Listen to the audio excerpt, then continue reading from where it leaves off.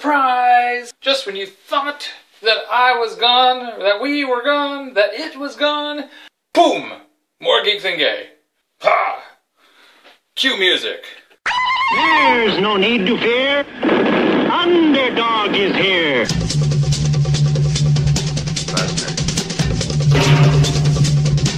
Walking, walking, tiny white stuff.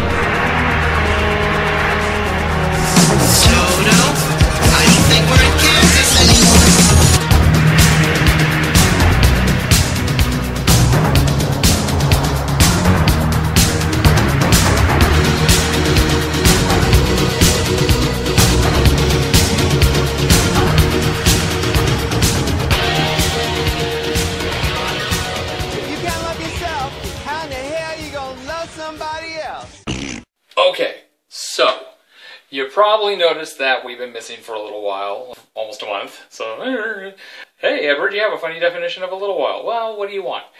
First, it was life. Yeah, like last time we talked and everything, I was still unemployed and still had things going on, school, blah, blah, blah, blah, blah.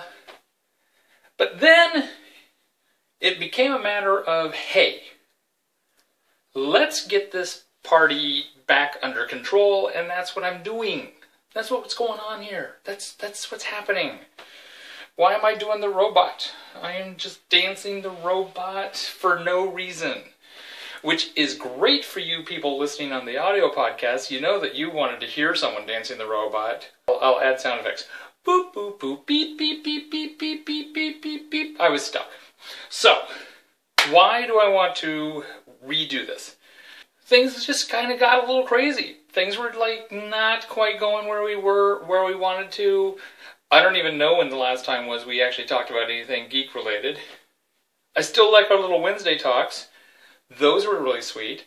Not necessarily getting rid of those, but we are going to start getting back to focus on what we were. So, what does that mean? We're going to talk a little bit less about ourselves. Yeah, yeah. You didn't want to hear about us anyway. Well, you probably did. Hopefully you did.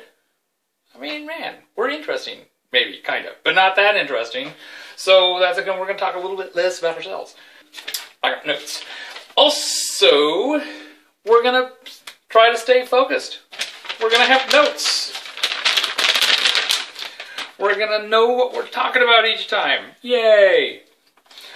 And you notice that I'm not in bed. I'm not sitting down on a couch. Not saying that we're not going to be in bed in the future. Not saying that I'll never be on the couch again. Probably going to have like a couple nice little sit down, sit downs. But the energy is different in those situations. And especially until we get everything back in the direction that I want this back in, no, no beds. No beds. I am Groot. How was that? I don't know. If you go back and listen to like early episodes, wasn't in bed, had a little different energy. Also had a little different focus. And that's another part. We're gonna start focusing back on the geek stuff. Okay? Because I don't know why we weren't. That's really what it is. You're gonna get RuPaul. You're gonna get um, Project Runway. The occasional like, woo, it's a highlight moment. But other than that, we're doing geek stuff because that's what I am. Malibu Barbie. I'm a ballerina Barbie. I'm not a ballerina Barbie. What am I talking about? And less nice. Less, less nice. Between you and me, I'm really sick of it. I'm not sure if you remember, but in earlier podcasts, I called Jim Steranko, a hack who owed his entire career to um, Jack Kirby, who did everything that Steranko did first and better. And I'm not even a big Kirby fan. I also said that Siegel and Shuster pretty much almost deserved what they got from DC Comics because you know what they got? Almost a million dollars. Well, actually, over a million dollars. So, yeah, where's their sad story? I don't know. We've been very nice and very polite. And it hurts. It hurts in the little black spot that is my heart for me to be so nice and polite all the time. It really, really does. Ow, stop hitting yourself, Edward. So, less of that. So, this is going to be, it's not, we're not stopping and restarting. Oh, we did stop and restart.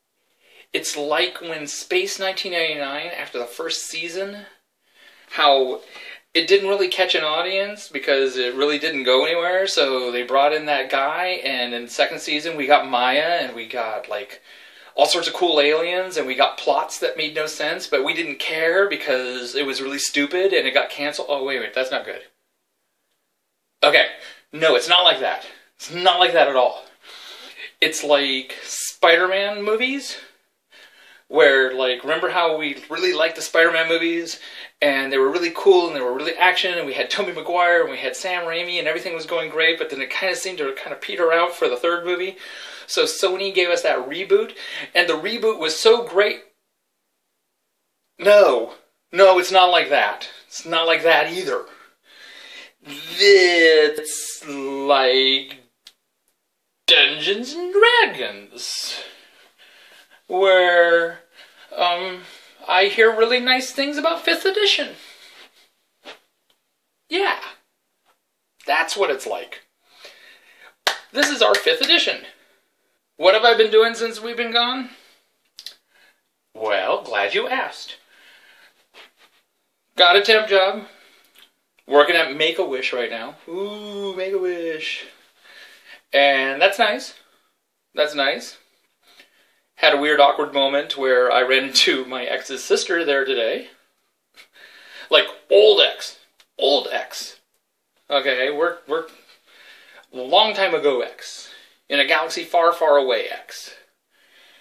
Enough that I didn't even recognize her when she came in to talk, and I'm like, well, who, who's this girl who's saying that she knows me? I don't know who she is.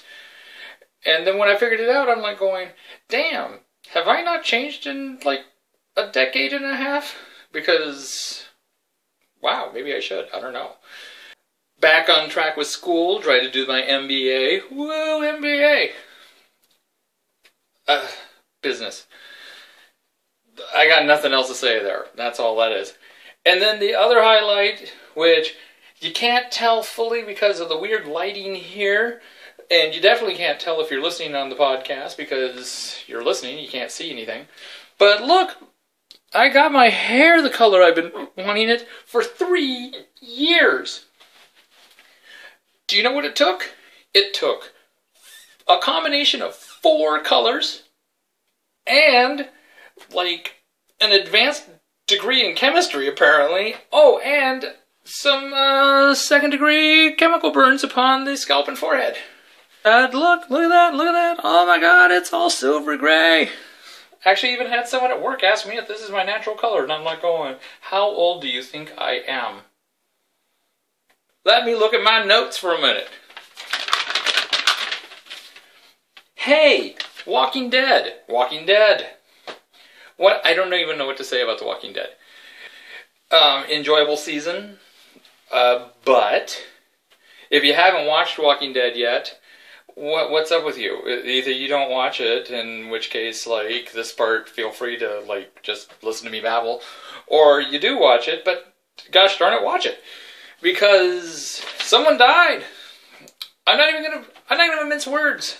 Spoiler alert! If you haven't watched your DVR yet, Beth died. Who's Beth? My point exactly. Oh my gosh. Okay, that was like some sort of weird glitch, and as I listened to the video, I became like a whole sentence off, and there is just freaky as crap. So, let's get me back into my rant. Beth died. There's like a petition online to bring her back from the dead without her being a walker. I don't even know how that's going to happen. All for a character that we saw maybe five episodes. I don't understand this. We saw her maybe five times. The last two times they beefed her up just to make her something of interest just before they killed her. But still, they just killed her. Who cares? We didn't get anyone doing a petition for Herschel when he died. Herschel can die. Shane? No one did a petition to get Shane back when he died. Shane was hot. That blonde chick who hung out with Michonne? No one did a petition to bring her back. Hey, how about Rick's wife? Nope, dead. No one cares. This one blonde little girl who we saw five times, maybe, everybody's all in arms and wants her to come back. I don't get it. I will let you guys destroy the show and bring her back as not a zombie if we can kill off Carl instead. They're not going to kill off Carl because he's a kid. Oh, wait. They've killed off children on this show and no one cared. I don't understand why everyone's all upset about Beth. Bring it! She was a nothing character. Oh, RuPaul's Drag Race. RuPaul's Drag Race, they announced who the new contestants are, the new 15 that are going to be on next season. And I don't know any of them. I don't. Um, everyone's all excited because one of them's from Tucson, and she looks like a kicky little fun girl. Not a clue who she is. Joseph knows her. Joseph can fill us in on her when he gets back, but at this moment, I got nothing. I got nothing. She she's the one that like skinny has like a weird Mary Tyler Moore flip thing going on over here, and looks like she's kind of more of an avant-garde queen or something. Looks interesting. RuPaul comes back in January, and I'm I am looking forward to that because I do say it is the best reality competition show on TV, bar none. America's Got Talent being not a bad second, but still not a close second. But it is time for sad news. Yes. Now, in the past, um, you may have noticed that we had a, a cat here named Mr. Big. I called him Moisha. He was deaf. He didn't know. And Mr. Big was like 19 years old. He was an old, old, old cat. If you've been listening, you've heard us talk about him. If you've been watching, you got to see him. And he's making a close up. And he's trying to figure out why he's. And then he just settles in and. And then we do the podcast around Mr. Biggie's personage. Well, unfortunately, Mr. Biggie died. Uh, Mr. Biggie passed away last week. Um, it was actually a very sad day. Um, I just knew, I knew it was time. Um, he really hadn't been eating. He'd been happy here, but he was 19 years old. Uh, this was his third home in a year. And um, I got to hold him for a while in the morning. Um, I picked him up onto the bed because he liked being on the bed with us. And he wasn't able to get on the bed really much anymore. Joseph stayed home and mis- held Mr. Biggie, and Mr. Biggie died in Joseph's arms later that night, or that afternoon, reasonably peacefully. So, we're not going to be having Mr. Biggie on the show anymore. Not, not physically, perhaps in spirit. Uh, it's not like we have a shortage of cats here, but still, he was a, a very nice. He was a very good man, and he will be missed. He also had horrible timing because he decided to die on my birthday. So that was December 3rd. I would like to thank everybody who gave me birthday wishes. Yay, thank you, thank you. Um, Dead Cat Day and birthday don't really work well together, but you tried. You really tried. Thank you for your sympathy um, wishes also with Mr. Big. Uh, we ended up having a small get together. Uh, there was lots of, "Woo, I don't know what I'm going to do. I have to work that day. But we decided to have a little birthday get together at the last minute. And I'd like to thank everybody who showed up for that. Glenn, Peter, um, Kyle, Justin, Heather. Hey, Heather. Heather, thank you for the gift. Yes, I, I, I eventually opened up the card. So uh, thank you, thank you. And it was a very enjoyable evening in spite of a very sad afternoon. And now I am 46. So those of you who have been enjoying my photographs of at 45, well, get over it. At 46 just makes no sense. That's just ridiculous. Who does at 46? No one. That's who. Um, yeah. Probably editing that out. Now that I've said I'm editing it out, I'm probably not editing it out. I do want to give you guys a quick little shout out when it comes to podcasts. I haven't done a well, we haven't done a podcast lately, so how can I give any shout outs recently? But Patrick, Screamqueenz, you want to check that out. Scream that Screamqueenz with a Z. It's a horror podcast where horror gets bent. He's very sweet, very entertaining. Even if you don't like horror movies, you will be entertained by Patrick. He is just a great, sweet guy, very funny, incredibly funny. A little loose with the four letter words, but then again, I've been a little loose with the four letter words in the past, and um, so get over it. Also, you've heard me mention in the past, and I'm mentioning them again right now the Satyrsphere that is with Scott and Cindy. And they do a nice little po- podcast, usually about an hour long, very categorized. Okay, he's got little bumpers, which I tried doing bumpers on here, it just didn't work. But maybe eventually I'll get different equipment and it'll work. But they got nice little bumpers that they do TV and they do movies and then they do theater and then they'll do well eventually there may be a story about scott's penis the impaler and um, so there's that be forewarned and i'm not recommending them just because i happen to win um, a Cards Against Humanity um, expansion from them which means i now have to buy cards against humanity but that's worth it no I've been listening to them and recommending them for long before that. Two other podcasts, really quick, and that is Top 5 of Death. Top 5 of Death, basically, these guys, they come up with a topic, they come up with a top 5 list, very funny top 5 list. Then they post it online. Everybody votes on which top 5 list they like best, and then the winner, the guy who came up with that list, gets to on the next episode create a story about how the other two guys met their horrible demise. And they're part of the um, Geekly Inc. family of podcasts, which also does Drunks and Dragons, which is a Dungeons and Dragons podcast, which is incredibly entertaining to listen to. So if you enjoyed um, Dungeons and Dragons or just humorous storytelling, I recommend Drunks and Dragons. Very funny.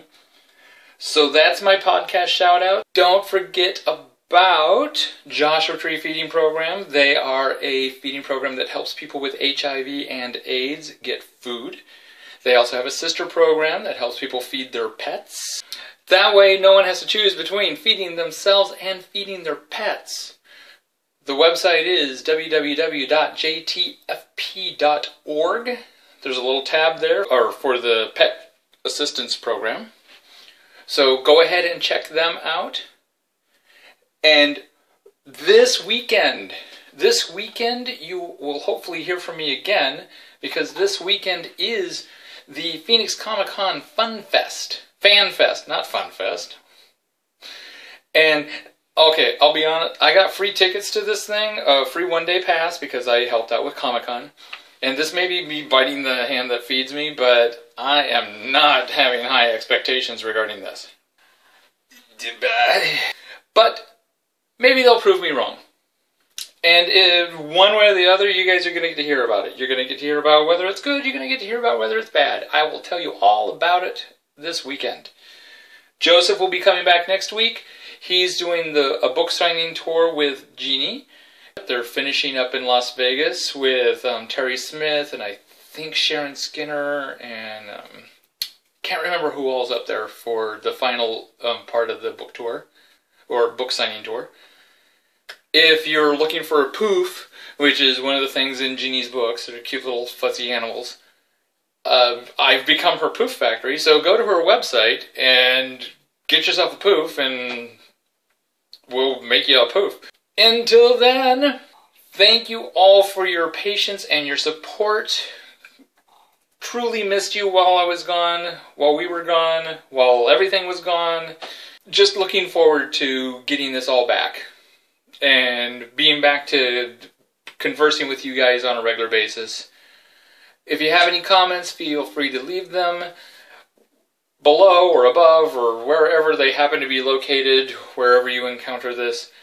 And until next time, hope you have a great, great day. Bye.